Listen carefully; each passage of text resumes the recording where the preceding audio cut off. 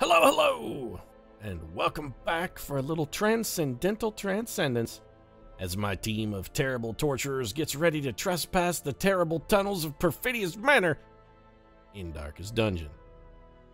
Yeah, take that, Ralph Waldo Emerson. I'm onto your shit. I'm not inherently good at all, not even a little. I haven't been beaten down and broken by the oppressive milieu of a modern society. I'm just, uh, turns out, a murderous scumbag. Ralph, that, that's really what it boils down to. I'm a bad person. I'm not gonna go out and build some shitty hut and live next to a pond for two years. Uh-uh. I'm gonna sharpen up my knives and try and slake my thirst for blood because I've been damned from the start, Ralph. That's the way it is. The stain of original sin has forever tainted my soul, and no amount of natural living can can redeem me. That's it. I'm I'm gone. I'm like a Superman graphic novel that didn't suck. I'm irredeemable. Only the fleeting self-gratification of taking another's life can fill the empty, gnawing hole that uh, resides at the very core of my being. When I take a life, it's as if I can sense the rush of my victim's desire to live as their last breath rattles from their throat. And uh, it's really the only thing that makes me feel even slightly alive. So you know what? I'm taking Slade Wilson, Barbed Wire, Dazzler, and Rachel Roth because why not? We're going down into the dungeon. We're going to get ourselves set up, and eventually we're going to get my revenge. I'm going to get my revenge. The Cove denied me the right to watch Superman suffer and die, and I'm going to make them suffer in turn because, again, I'm irredeemable. All I can do is repay suffering with suffering. It's all I know. It's all I know.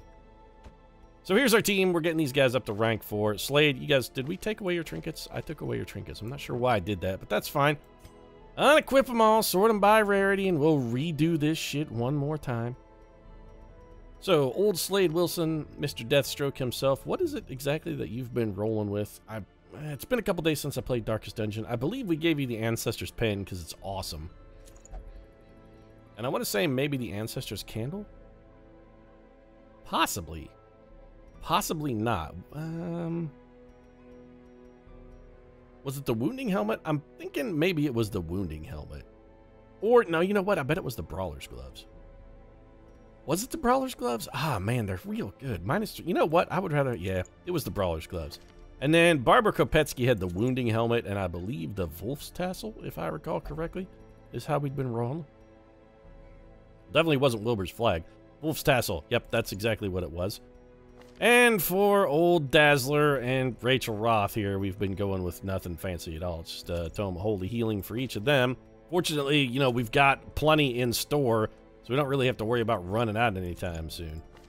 Available now. You can get your, your buy it now price on the Tome of Holy Healing. It's only 97 cents on eBay. The buy it now is great because they got a shitload in stock. So we'll close our trinket inventory. We don't actually need to look at this. What we really need to do is just provision for a short dungeon and we're doing a short dungeon specifically because we want to try and keep our stress as low as possible. Although theoretically, there's a case to be made if we're trying to keep our stress low for actually doing a medium dungeon. Is there a medium dungeon available? You know what? Is there a medium dungeon available in the Cove? There is. Gather three Ancestors Relics. That could take anywhere between... You know what? Nah, it's, it's, nah, not worth it. I'm just going to do the short mission. I was thinking about doing the medium so we could try and camp and get, uh, you know, all of our provision boosts. But if we need to rest in between missions, hey, it's fine. We'll just rest. It's not that big of a deal. I'm going to take, yeah, 16 food seems reasonable. Let's grab uh, three shovels. One of everything else. You know what? We'll forsake the key because short missions don't typically have... There's no no secret room in a short mission, so let's just grab 12... Actually, 12 torches is probably too much. 10 torches, yeah, it's fine. It's a short mission. Yes, it is the Cove, but it's still a short mission, man. We shouldn't need all these provisions. Why are you guys loading them down? There is a case to be made for maybe have taken a lot of provisions because we did have the town event where provisions were half price. We could have paid wholesale prices, man. Why you paying retail? What the hell is wrong with you? Don't you know that Quibids has great deals available, Pete, right now? You could be saving so much cash on shovels, you won't even know what to do with it. You can't afford not to buy at these kind of prices. Earl Scheib will paint any car for $49.95 too. Doesn't mean he does a good job. I'm always assuming Earl Scheib painted it with his vomit because he always sounded a little bit drunk when he did those ads. I'm Earl Scheib. I'll paint any car for $29.95. Paint it with my own festering, gut-rotting liquor because I've been drinking six and a half handles of bourbon this morning. I don't trust you, Earl Scheib. Painting my car. Picking up a little scouting, so it looks like we got a hallway battle. All right, what is our goal here? Explore 90% of rooms. Well, that means we can skip whatever that last room is. That'll be great. Simply must know what lies within. It's, it's a torch. There it is. Congratulations. Why not set flame to it? And then we'll continue on our merry way. Stress unit's gotta die. This is uh, this is the important thing. If we could get out of here with like no stress on anybody but Rachel Roth, that would actually be acceptable. You know what? Throw the hook and pull it closer.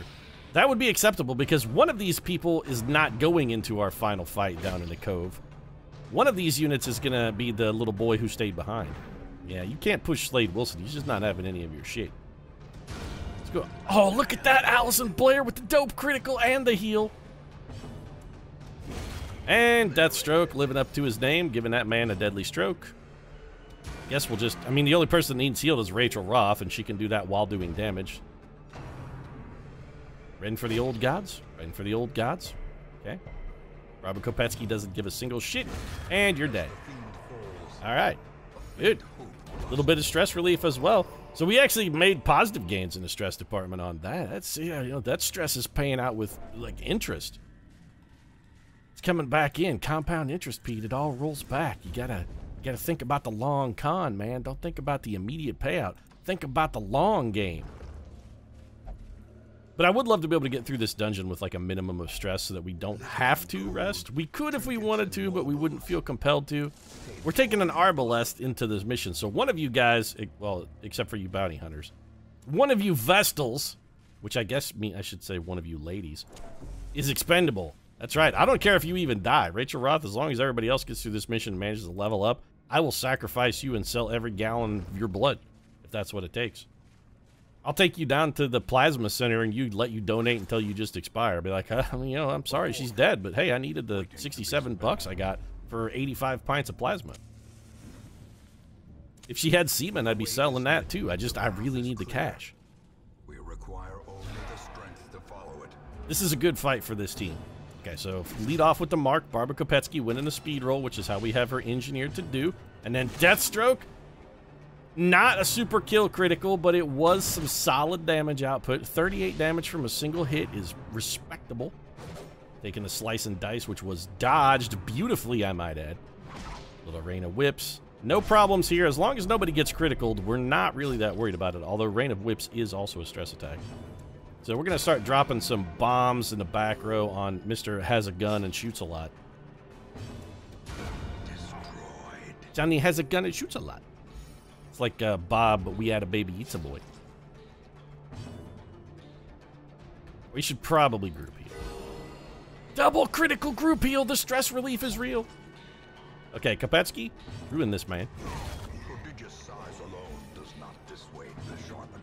Doesn't dissuade the sharpened blade, this prodigious size of ours, but you know what? Prodigious size, I would say, is discouraging of the sharpened blade. If you got your choice of who you're going to run at with the knife, are you going to pick the biggest guy in the room or maybe a little guy who's sitting in the back of the corner reading a book, not bothering anybody?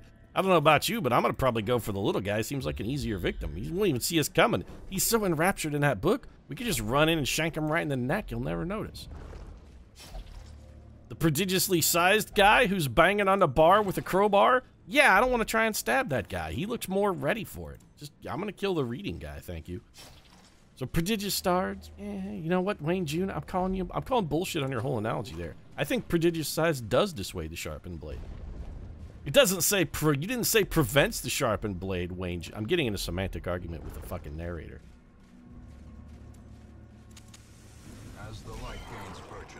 This is actually a really bad fight for us. This Uca Crusher here this guy is a problem because he has massive bleed attacks, and if he stacks enough of them on one target, we're going to find ourselves in a hurt locker very quickly. I'm hoping Deathstroke can pull off some kind of miracle stroke here.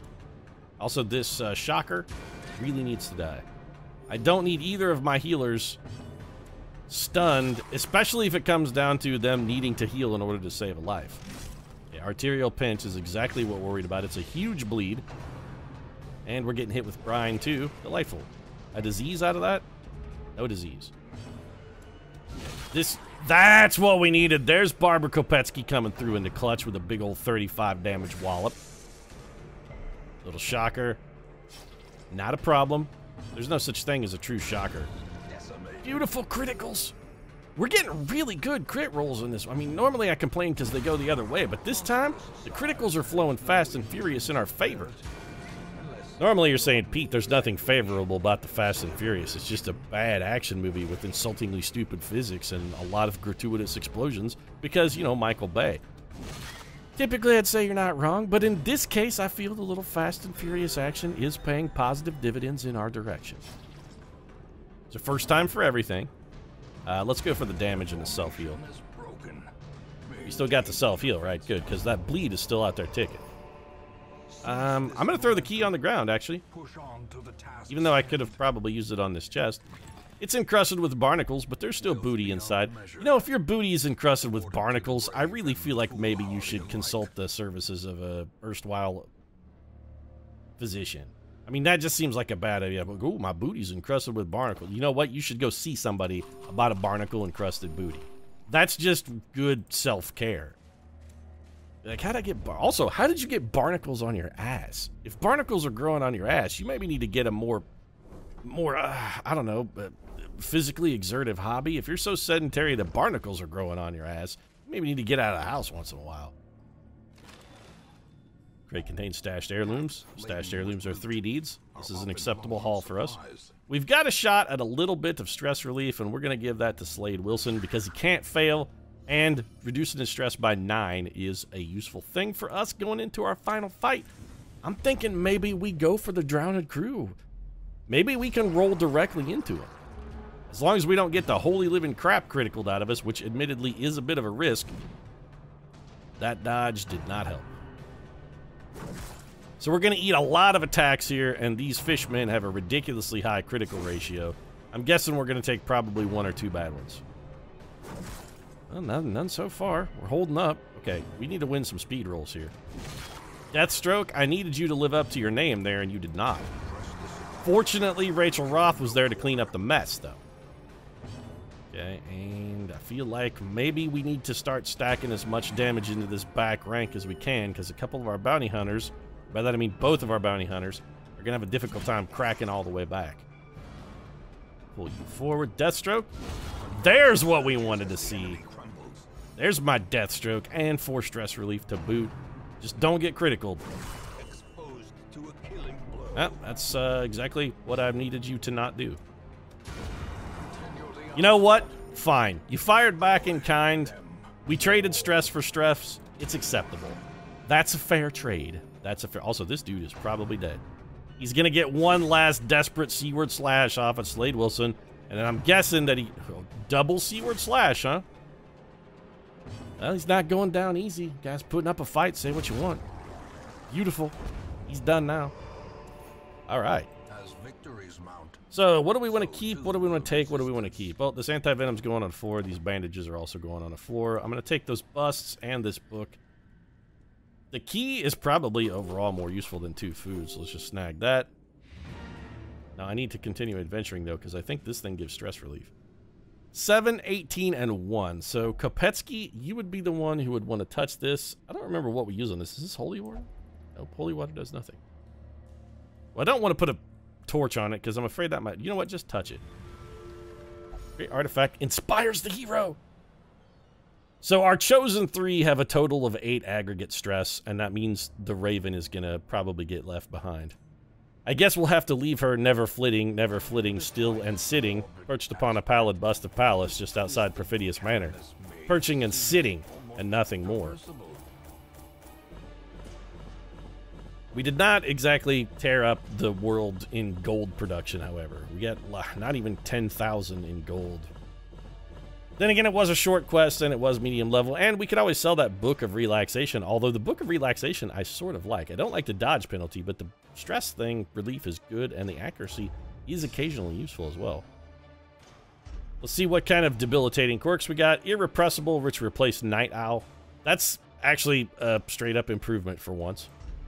Kopetsky, how'd you do? Uh, Wheeled Tactician replaced Early Riser. That's basically a wash. Guilty Conscience replaced Faithless. Neither one of those matters even a tiny bit.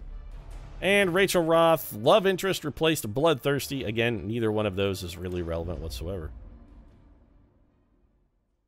now it's time to go and uh, get all Buffy Summers up in this mug and start spending an absolute metric ton of cash. And when I say a metric ton of cash, I mean a literal metric ton of cash. We're going to take, like, you know, a giant cube, 1,000 kilograms worth of cash, and we're just going to set it on fire, effectively. Slade Wilson, let's get you all your level 5 skills then. So we definitely want this, we definitely want that. You know what? I'm going to double up here. I don't like Hook and Slice, and I never use it. I'm not going to upgrade Hook and Slice. We're spending enough money as it is. Kopetsky, same thing across the board for you, although I will take Flashbang because stuns are not terrible. Finish him, and the Flashbang is fine. Dazzler, let's get you coughed up here, and nothing fancy from the Dancy. We're just taking the skills we like. We might as well do Rachel Roth while we're here. We're ultimately going to want Rachel Roth getting back in the mix at some point. So there's no reason to not go ahead and max her skills. And now it's time to drop the actual crippling fortune worth of cash. It's here upgrading weapons and armor. Because this, this is the one that's really going to hurt us.